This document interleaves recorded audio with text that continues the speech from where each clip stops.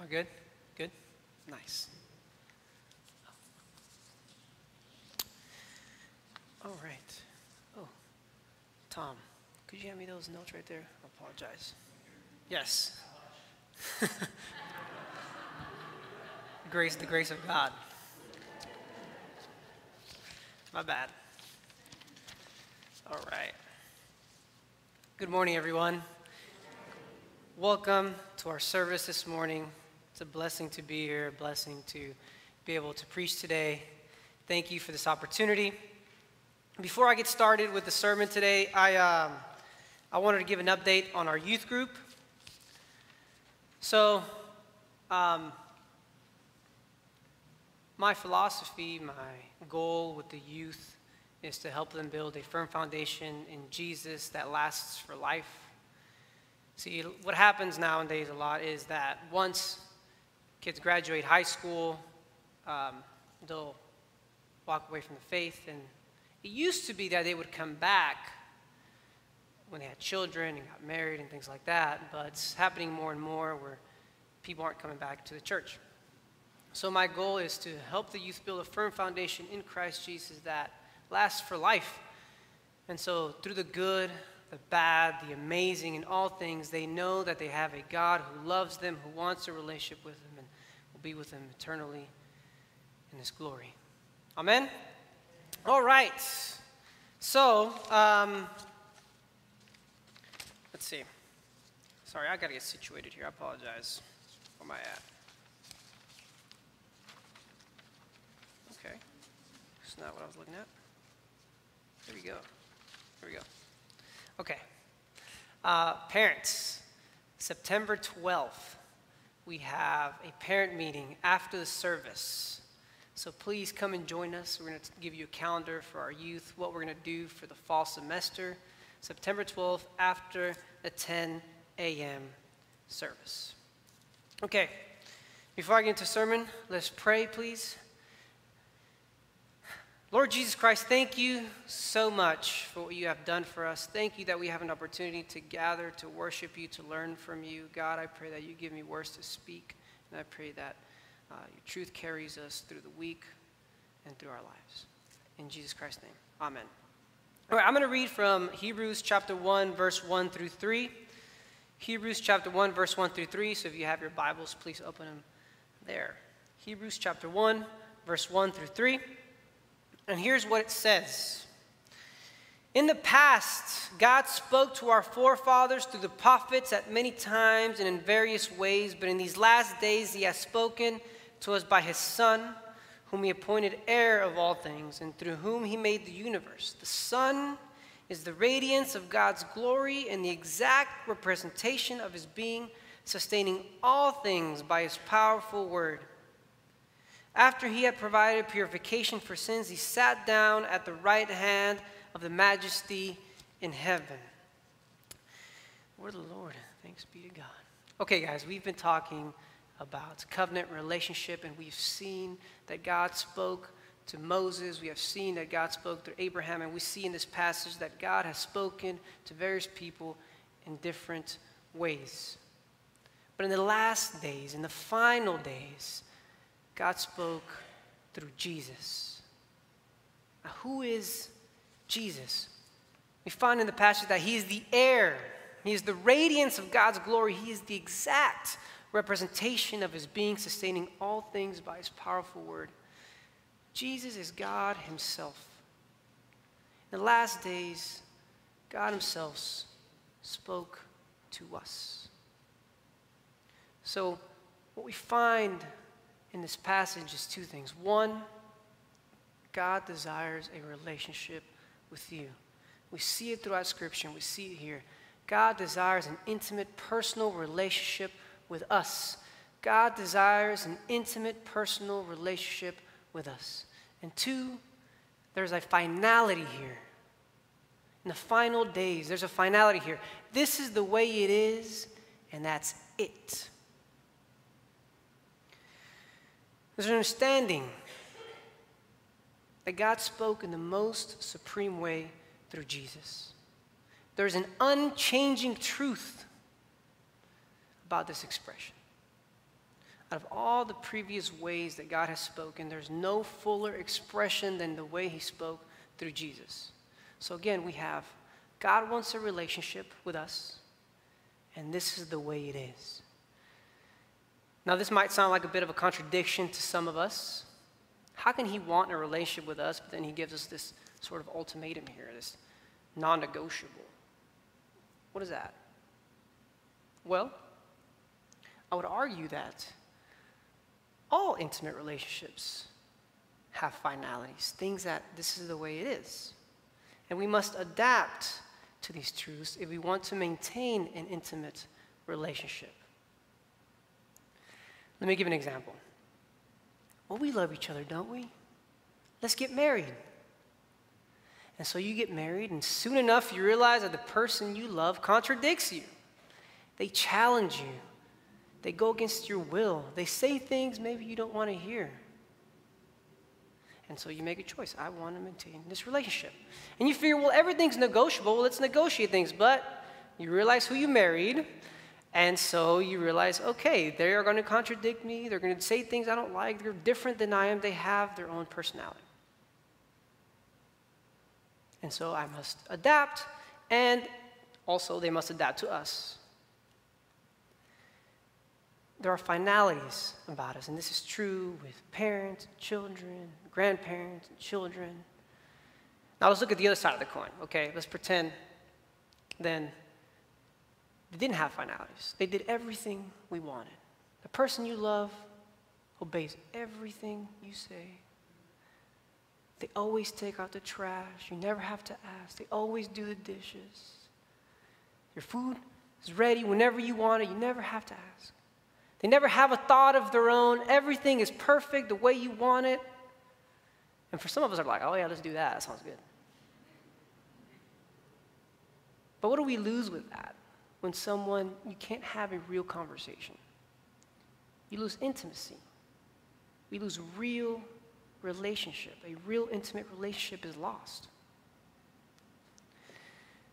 Now, why am I talking about this? What, what does this have to do with God? You know, when it comes to relationships, what I was just talking about, there is this idea of that we lose the relationship. There's this microchipping, this appliance, this person who's no longer real to us. It's just somebody doing something for us. And when it comes to God, today people will say things like, I'm spiritual. You know, I, I believe that God loves, but I just, I just can't accept this thing about judgment. I just don't like that idea.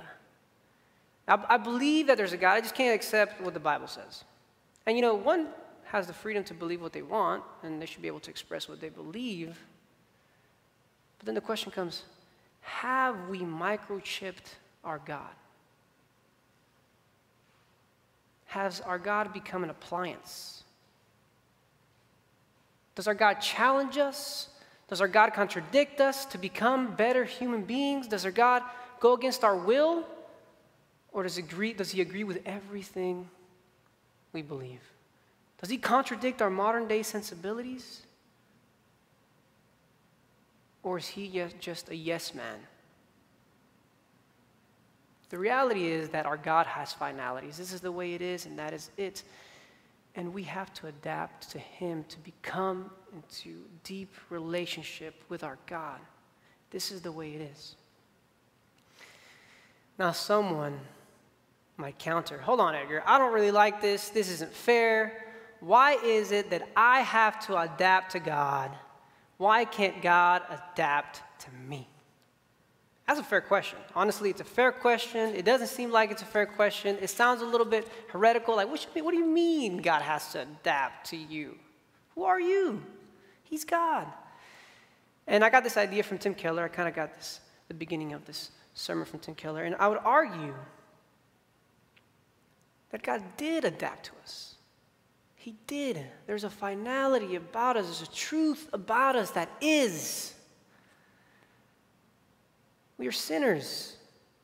We are sinners. And God met us in our most deepest need in order to make a way that we may have relationship with Him. Philippians 2 6 3:11 who being in the very nature God did not consider equality with God something to be used to his own advantage. Rather he made himself nothing by taking the very nature of a servant being made in human likeness and being found in appearance as a man. He humbled himself by becoming obedient to death even death on a cross. Therefore God exalted him to the highest place and gave him the name that is above every name that at the name of Jesus every knee should bow in heaven and on earth and under the earth, and every tongue acknowledge that Jesus Christ is Lord to the glory of God the Father. Jesus came from his high status, from the creator of the world, from his throne. He came down to earth to meet us at our most deepest need. In our brokenness, Jesus met us. He did this that we may have relationship with him. And because he did this, he is exalted at the right hand of the Father. Praise be to God that he is able to bring us into relationship with himself. Thank you, Jesus. We can come into relationship, deep, intimate, personal relationship because of what Jesus has done. Now, I'm going to look at Hebrews 8, dig deeper into what this means. What all did Jesus do for us? Um, because Hebrews 2 tells us that we must pay careful attention, therefore, to what we have heard so we do not drift away. Guys, let's fix our eyes on Jesus. Let us know him better. So I'm going to go to uh, Hebrews chapter 8, verses 1 through 6. Hebrews chapter 8, verses 1 through 6. And it says, now, the main point of what we are saying is this we do have such a high priest who sat down at the right hand of the throne of the majesty in heaven and who serves in the sanctuary, the true tabernacle set up by the Lord, not by mere human beings. Every high priest is appointed to offer gifts and sacrifices, so it was necessary for this one also to have something to offer. If he were on earth, he would not be priest, for there are already priests who offer the gifts prescribed by the law. They serve at a sanctuary that is a copy and a shadow of what is in heaven. This is why Moses was warned when he was about to build the tabernacle. See to it that you make everything according to the pattern shown you on the mountain. But in fact, the ministry Jesus has received is as superior to theirs as the covenant of which he is mediator is superior to the old one, since the new covenant is established on better promises. Now I'm going to talk about uh, verse 1 real quick. It says, now, the main point of what we're saying is this. Here's the main point. We do have such a high priest who sat down at the right hand of the throne of the majesty. So that's some explaining that I'm going to do real quick, okay? So we talk about the priesthood, we talk about kingship. The reason we're doing this is so we can dig deeper into what Jesus did, so we can understand what he did to bring us into relationship with him, okay? So, in the Old Testament, time of the Old Testament law, there's a high priest and there was a king. But you never had a priest be king. That just wasn't a thing. You were either priest or you were king. And if you were priest, um, you came from the line of Aaron. And what did the priest do? The priest was appointed to represent the people in matters related to God, to offer gifts and sacrifices for sins. So that was the job of the priest. Okay? Now, Jesus did not come from the line of Aaron. So, how can he be priest if he's not from the line of Aaron? There is this mysterious figure in the Old Testament, uh, in Genesis, to whom Abraham gave his tithe, Melchizedek. Now, Melchizedek was both priest and he was king. He was king, he was the king of righteousness. Well, Jesus is righteous, he never sinned. He is the king of, of peace, and Jesus offers peace to us. And then in the Psalms, we see that there's a prophecy about the coming Messiah, one who will come in the order of Melchizedek, priest forever. So, who is this person? This is Jesus. Jesus is the priest king. He is the priest forever, in the order of Melchizedek. And earlier I talked about how the priest offers sacrifices year after year that's what he does. He offers sacrifices year after year, but Jesus had to only offer one sacrifice, and that is himself. Jesus gave the one and only sacrifice. And now in this passage, we find that he is seated. So, why is Jesus seated? Well, he's seated because his work is done. Unlike the high priest who did it year after year, he would come into the Holy of Holies in the presence of God one time every year. Jesus had only do it once forever. He is priest forever. So he's seated because his work as high priest is done. And he's also seated because he is king. In the scriptures, we find that everyone who comes before the Lord bows down before the Lord, but not Jesus. Jesus is at the right hand of the throne. He is king, he has authority, and he will establish his kingdom. And we also find that Jesus is the one who is interceding for us, and he has authority to forgive sins. Praise be to God. He made a way. Okay. Now, in verse 2, there's something that uh, I really, really kind of enjoyed about this passage. It says, And who serves in the sanctuary, the true tabernacle, set up by the Lord, not by mere human beings. Jesus at the true tabernacle, a true sanctuary. See, um, the other verses say that the other stuff was built by human hands. It was a copy and a shadow of the real thing, a copy and a shadow. Now, let's talk about copies and shadows. I have a friend. Uh, when I was in seminary, his wife uh, lived in a different country. He lived here, his wife lived in a different country. And, you know, they weren't in disagreement with each other. They loved each other, but it just so happened to be that he had to live here and she had to live there. So, what do you do when you're in long distance? You call each other, you talk on the video phone, you uh, FaceTime each other, you text each other. I don't know if they write, wrote letters to each other, they sent gifts to each other, things like that. But it's only a shadow. Having somebody far away from you is very, very different than having the real fullness of the person right before you. It's very, very different. Many of us have worked in offices, and when you go to somebody's office, you might find a picture of loved ones, family, children. And that picture is a copy of the real thing. That picture is not the real person, it points us to the real person. And so it is with the tabernacle of sanctuary. It's not the fullness, it's something made by human hands. It's not the kingship of God in its fullness. Guys, let us not worship the copies and the shadows let us worship God. The things that God has created in this world are meant to point us to Him. Let us not obsess about the things that are not Him.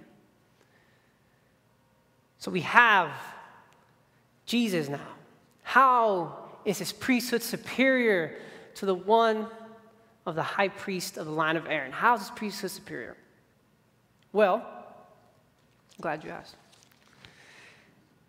For Christ did not enter a sanctuary made by human hands that was only a copy of the true one. He entered heaven itself now to appear before us in God's presence. Jesus entered the true tabernacle, the full presence of God, offering himself, offering himself for our sake. Jesus was at the presence of God. And he didn't offer an animal, he offered himself, the blood of Christ God true tabernacle.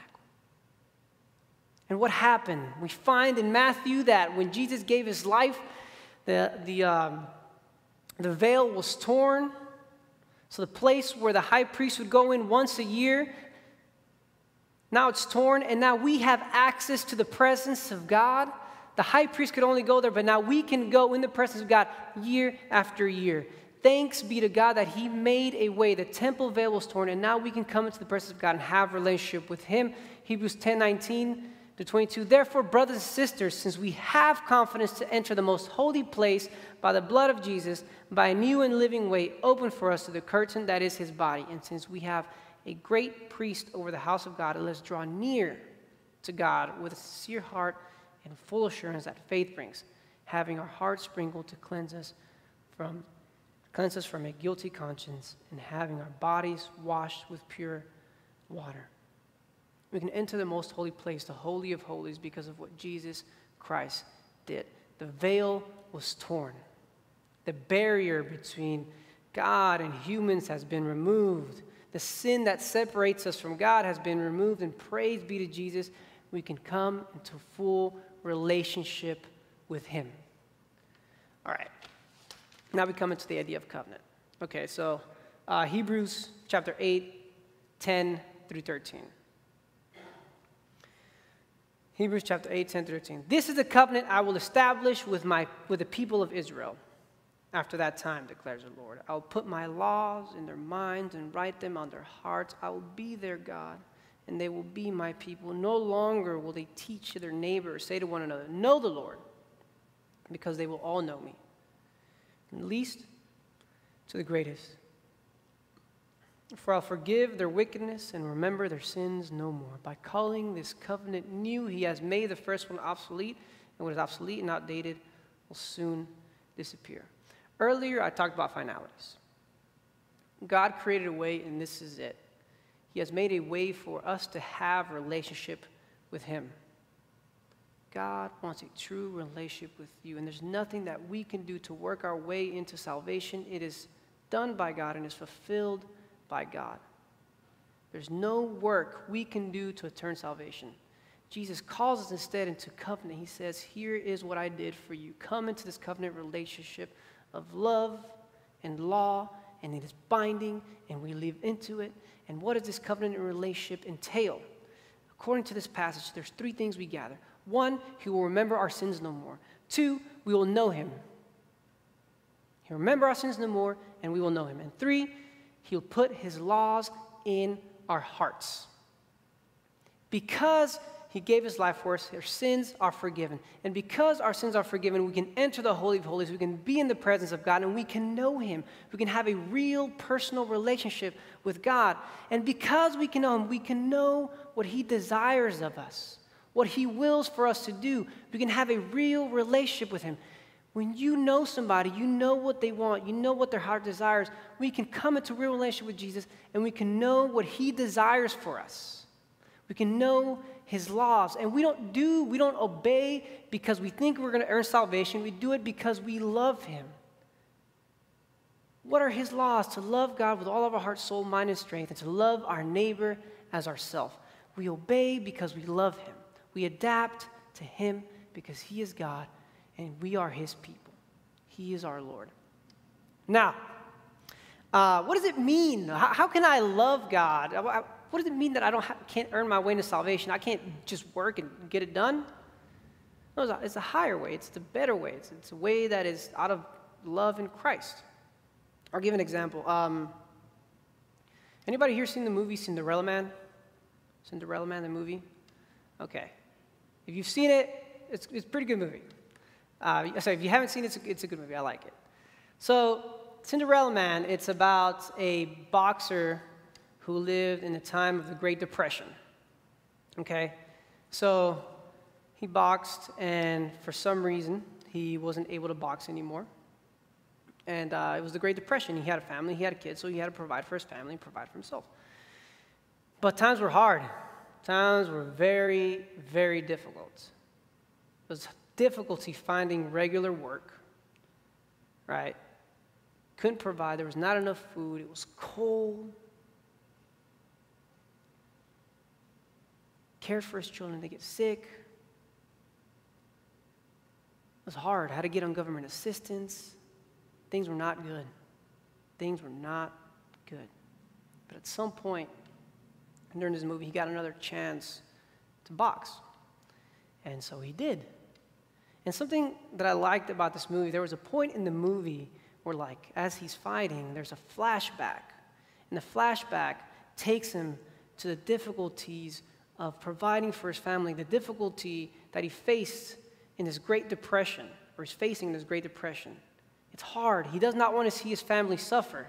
And he's thinking about his family, and his love for his family made him fight harder.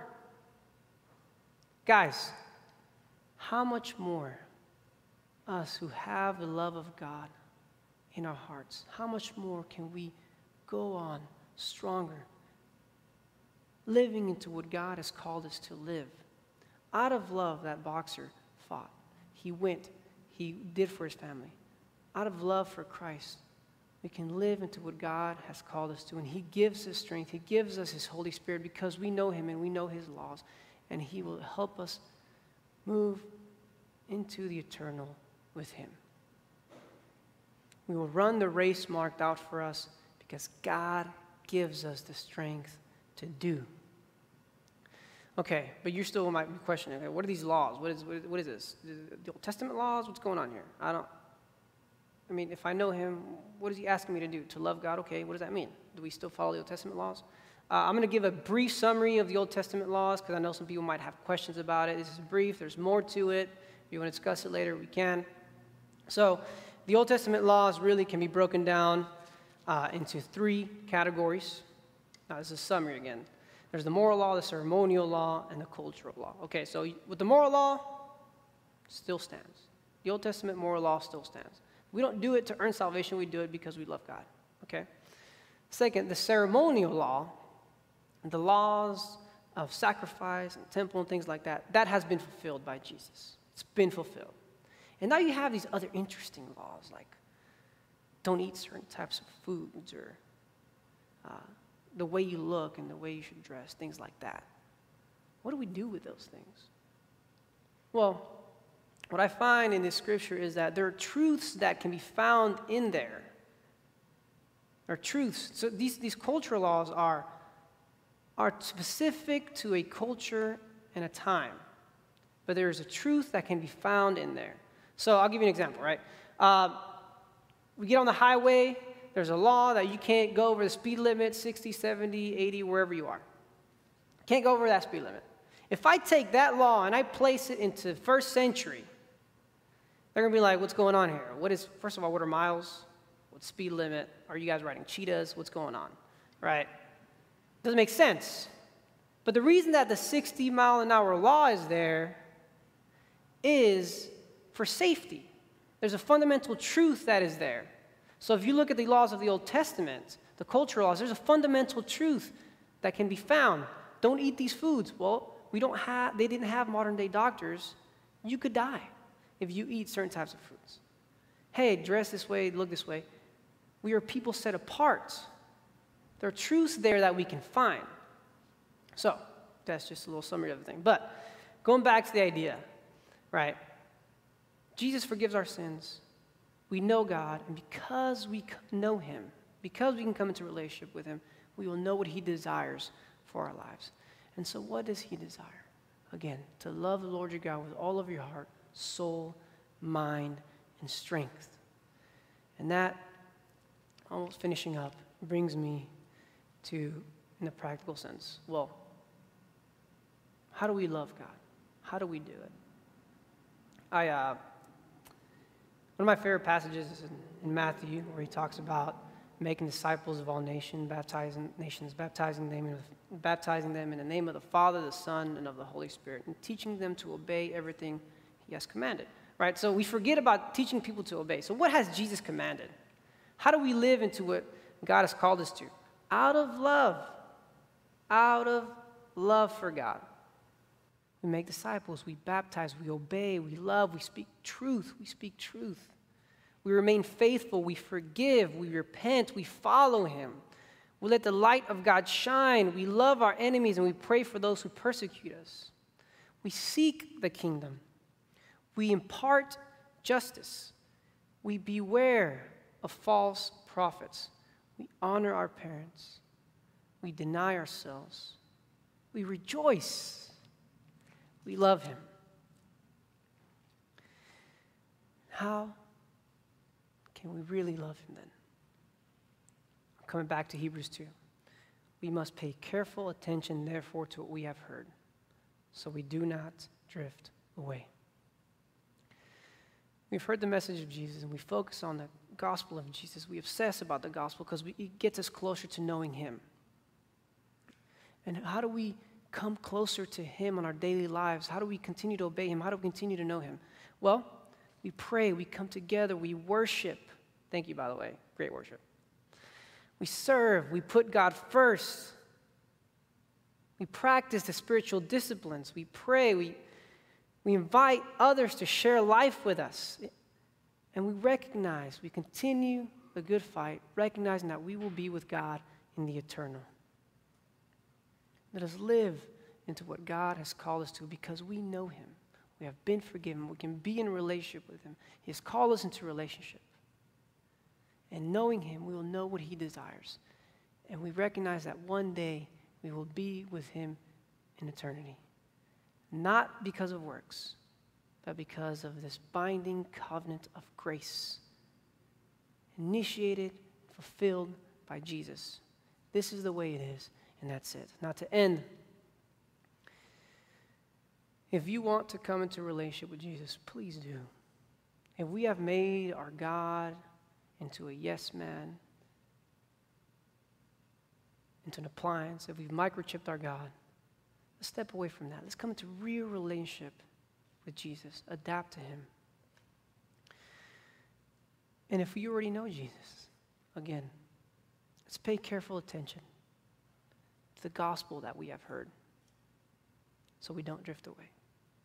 He loves you, He saves you.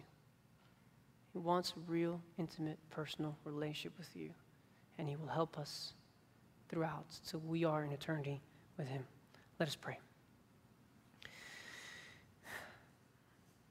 Lord Jesus Christ, I thank you for your word. I thank you that you have given us a way to come into full relationship with you, not by works, but by grace. There's nothing we can do. God, I pray that we may come into relationship and that we get to know you more and live into your kingdom. In Jesus Christ's name, amen.